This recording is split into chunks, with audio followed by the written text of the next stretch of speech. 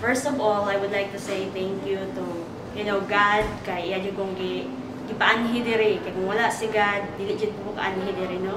O akong nabati sa una, lahi na jud siya sa una. Karon, I feel better na. Dili na kay siya ingon nga worse kaayo ang akong diri o kinapud siya kaayo. O ako pong i-recommend sa uban nga hinaot unta ma- manhimo diri kay para pud maayo kung masama ka nako. I will recommend dogs can't. Alright.